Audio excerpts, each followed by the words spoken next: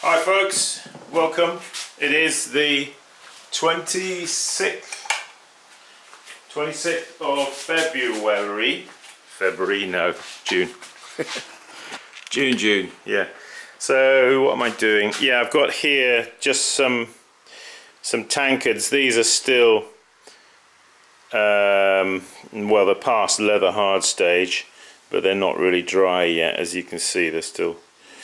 So what I want to do, it's about the right time now to to dip those. So I'm dipping them here in some iron oxide slip. So that's one job I've got to do, and I've also got to do some uh, over there. Those some pitchers here which we will do and then a couple of things over there. So we've got a bit of work we've got to get on with so let's do it. Let's get this tripod set up here. So yeah these these tankards um, that's about right isn't it? Something like that. Give it a good stir. This is um, natural red iron oxide slip. It's uh, it's 75% red clay and 25% red iron oxide. It's not actually the same slip that I use for for decorating. I've sort of switched over doing my decor decorating to using synthetic red iron oxide. Um, but I've continued to use this. I already had it made up. It's not so good. The natural for um, for decorating with. But for slip it works fine. Okay. Probably next time I make it up I'd probably uh, use the synthetic though in all honesty right just getting a jug and some water and a sponge because it's always good to have that. In case we make a mess, it's very easy with iron oxide slip to, um, you know, make a spillage and then it's sort of, it's better to wipe it away while it's still uh, wet before it dries. Okay, so what I'm going to do is, these are only going to be slipped on the outside and then these are going to have a sgraffito they will have a sgraffito decoration. Alright, let's just get so it's just a case of going down and I just hold it there. Yeah, just a few secs. And then lift it up. Just give it a chance for the the drops to run off. And then that's it.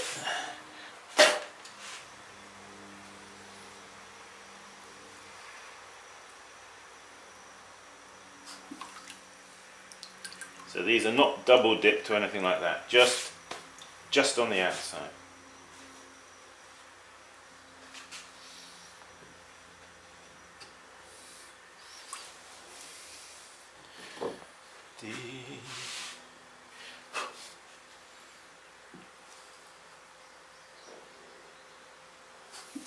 What I'll do with these is I'll have to let them dry off so that they're they're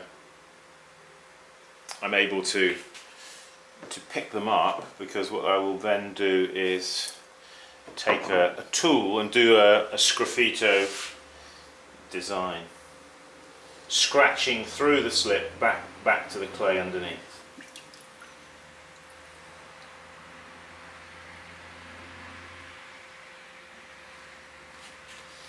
All right. There they are. Right, now what we've got to do is wash hands.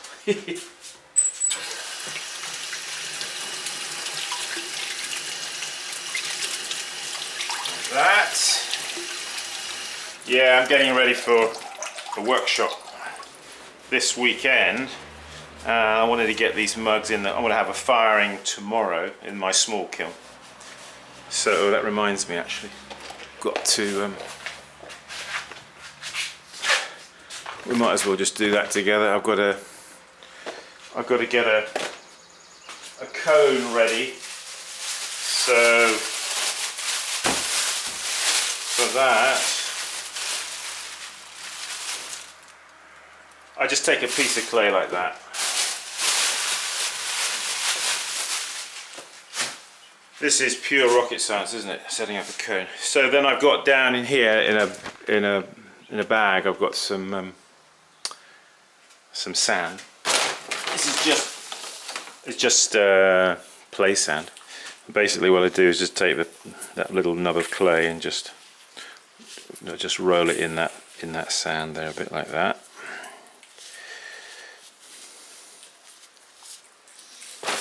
Till it's nicely sanded up, and then um,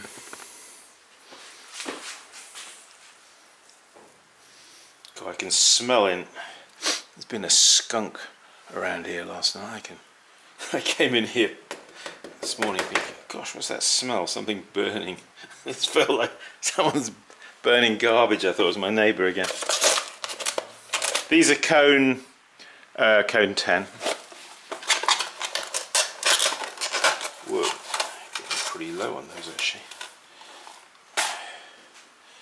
So you'll notice with a cone that it's it's it's kind of the flat on the bottom. What I do is it's basically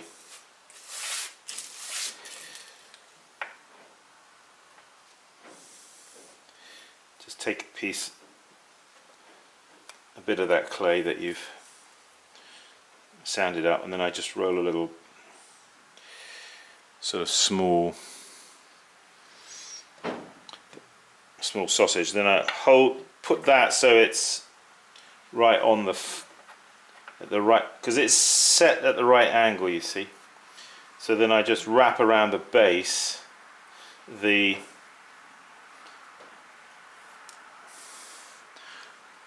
Alright, so and then here, just join that like that. Hold it down that. That's what I do. This piece of clay, chuck it out. Alright. Now, next, yeah, then what I do is um, can basically just prick it, you know, with a sharp object.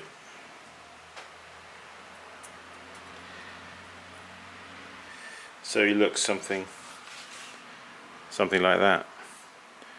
Alright, so bear in mind that that there you respect the angle that the cone has been how it's been made and that will set it in the kiln at the right angle okay so that's that so we just put that there okay quickly now I've got to zoom over to the other back over here um, yeah I've got a well, these guys here on the I've already done those. So they should get ready. Have a bit of uh, wood ash sprayed around those. So now I've got some these pitchers over here. I want to dip some of these. You've uh, you saw me making these. So some of them yeah this one I did it's got like a like a faceted uh, around the base. It's got the um, little detail over the handle So some of these I kind of prepared for yeah. The remaining ones I'll put out and outside to dry. Now I've got over here another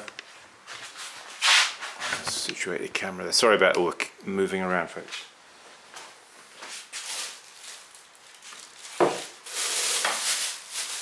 So here I've got a glaze which is, it's actually what I call crocodile, uh, which is um,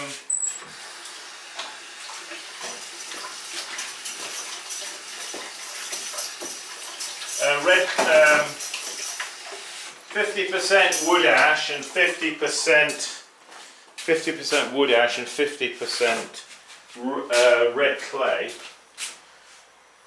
See, red clay you can use quite a lot, and if you go outside here and you dig down about so far, you will come across a clay. It's a sort of, it's not really red, I'd describe it more like a yellow ochre colour. And, but it's a low temperature clay, it's not, it's not suitable it's not suitable for throwing pots out of really. Uh, but it is it is it, it, can, it can be used a, a, as an ingredient in a glaze so. But this this actual glaze I'm, I'm working with here I'm stirring up this is just terracotta regular terracotta low temperature clay and wood ash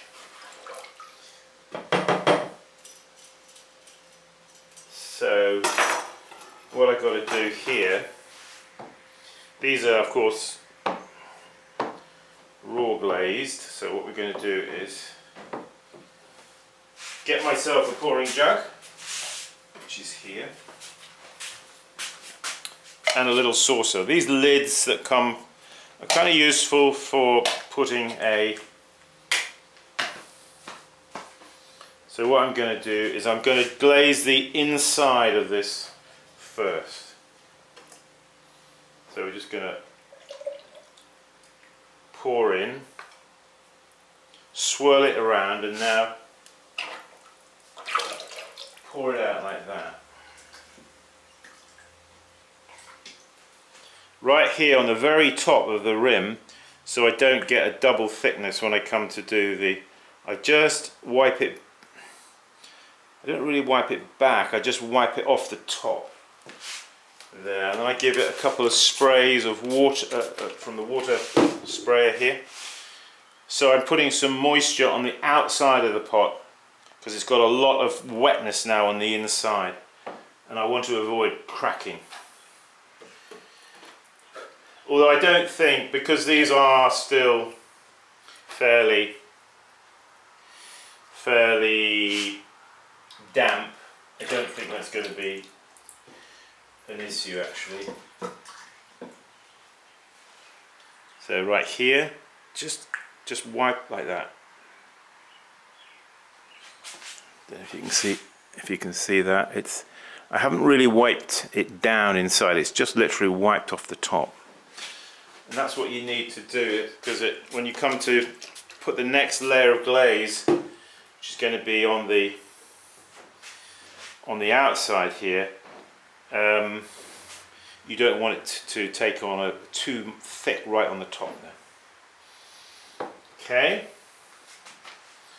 Uh, you know doing raw glazing is a little is a little bit more complicated than if you were glazing this bisqueware because you're doing this a little bit more involved at this stage. But, so a little bit of spray on the outside to equalize the, it's a precaution let's say that I do. Yeah, I was saying about this this glaze that, uh, that it's the wood ash from my firebox, my fire, my stove, my wood stove, and uh, that red clay. But in in this particular bucket here I've added about a third of a teaspoon of cobalt oxide. Because I'm experimenting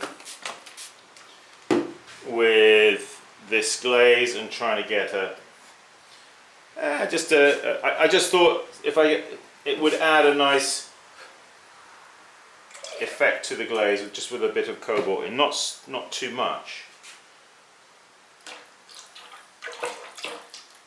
It's nice to use one glaze as a base, very simple glaze like this which is easy to apply, it's very easy to make up and um,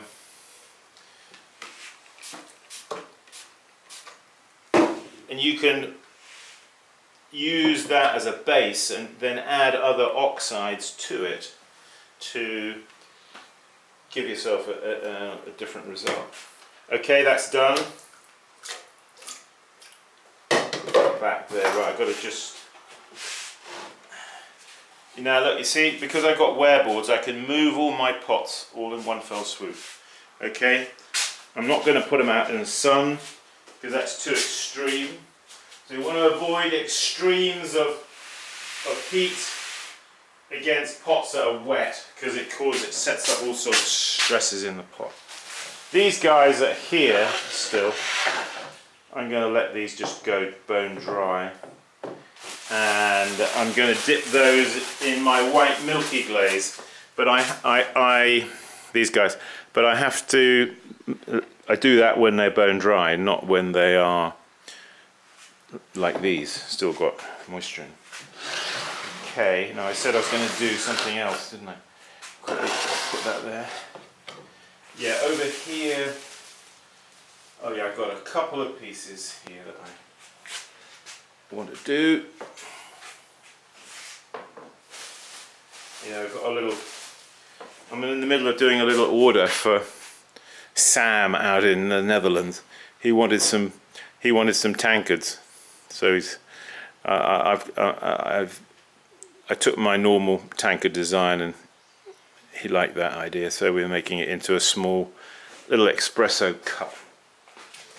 I've yet to get on and really do those.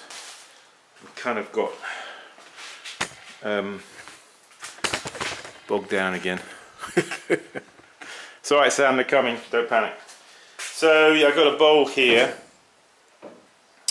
just a narrow footed bowl.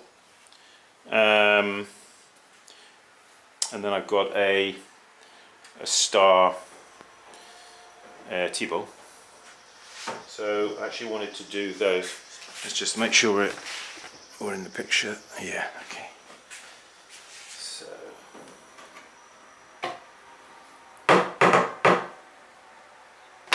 Yeah sorry today's a bit of a clip of just life in the pottery as it is. oh, that guy I noticed has got, I did it around the base there, you see? That uh, thumbing around the base there. So actually that one I should do as well. Alright, let's start off doing the the tea bowl. I've got to do these, you see. Generally speaking, do this kind of glazing in two parts. So inside first, and then you let it dry back, and then you do the outside.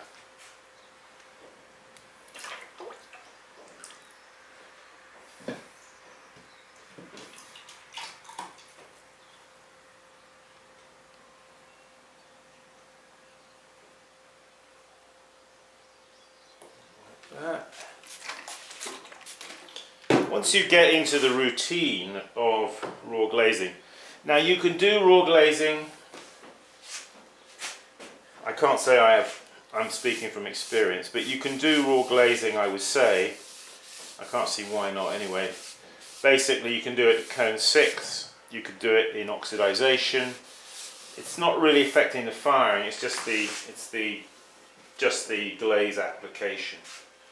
Um, so you can basically, I would say, you can do it at any temperature in any kind of, whether it's in reduction or in uh, oxidization, whether it's in gas or, or electric, or wood, or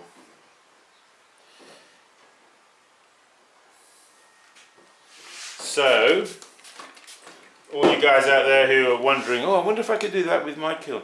Why, why is it that nobody said to us that we could, we could do this with our pots? We've always been brought up in this notion that we have to bisque fire everything, haven't we? Which is not so. All right, pouring in here, okay. What I'm going to do is pour out and twist.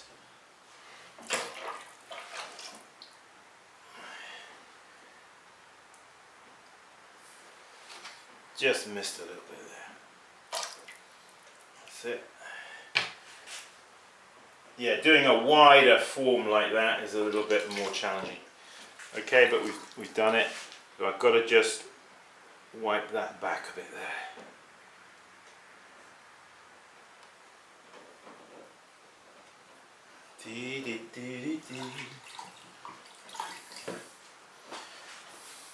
Yeah, so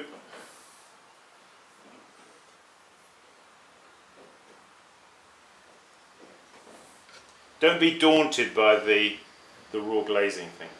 Just ha just have a go, do it, and you'll discover how simple it really is. And it's going to save you. It's going to save you a lot of time and frustration. A lot of, you know, I, I, I, I've had. I was going to spray that, wasn't I? Have had pots come out of bisque firings that have been cracked and things, and I thought, oh. I don't even like bisque firing, you know, and I'm putting my pots in this kiln and they're coming out cracked before I even got to the, or they, they warp or they do something funny, you know. Maybe that's to do with my gas kiln. It's not ideal, I don't think, gas kilns for um, for doing bisque firing anyway. I think they fire better in electric it's kind of a more even heat. This is the thing, you see, you know, you, you, gas can be very, very strong, very fierce, and that's not something you really want on on your pots. So, yeah, but have a go at doing some raw glazing. Just do it, just try it. And I'll tell you what, as an experiment for yourselves, just try using your regular glaze that you've been using to put on your bisque. Instead of which, just instead of applying it to the bisque, apply it to a dry, um, a dry piece of pottery, you know, raw, and um, just make sure it's dry. And just do it like I'm showing you here. Do the inside first, wipe it off, spray it on the outside and then leave it just to, to dry back and then apply the glaze to the outside. Take that pot and put it in your kiln. Okay, this is a little, little experiment you can do. Put it in your kiln and fire it and see what result you get. you might be pleasantly surprised. And you will learn something from it. You know, you're not going to cause any damage or, you know, now you might find that the, you might just need to make a slight alteration to the glaze. You might need to add a little bit of bentonite to it, like 2% or something. Or you might not, you know. Quite honestly, you might not. Okay folks, there's a little bit of glaze mechanics, if you want to call it that, I don't know. I'm not really a very technical person when it comes to glazes. And I, you know, as far as I'm concerned, if there was a glaze that had one ingredient in it, I'd be happy, you know. I've got, I take no pleasure in all of this running around the mulberry bush trying to mix up complicated glazes like some people. So, yeah, just bear in mind that these pots, now that you've applied the, the the glaze and this glaze because it's 50% clay is is akin to a slip really. Okay just with a bit of oxide in it. Well it's got wood ash too. So this glaze I've shown you this in the past is one ingredient one ingredient. And I literally go outside. I go over there in yonder field and I dig dirt and then I bring it in here, dry it off, put it through water, screen, you know, screen it, and then apply it directly onto the raw pot. And you've got a glaze. Okay, it's maybe not the, the, the nicest glaze in the whole wide world, but it's it's it's you're learning, you're doing something. You're thinking for yourself. You see, that's what you've got to do. Think for yourself. Just don't buy everything ready made off the shelf. That's like going down to McDonald's and stuffing yourself with with junk food. Don't do that. Don't be a junkie potter. Be an innovative, wild, crafty potter. Good, thanks folks, good to be with you.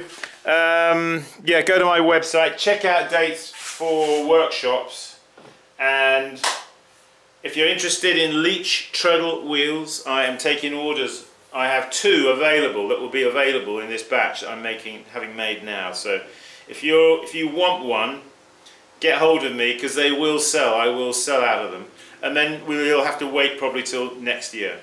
So if you if you are interested, give me a shout. Meanwhile, keep practicing, and I will see you around. Bye for now. Dee dee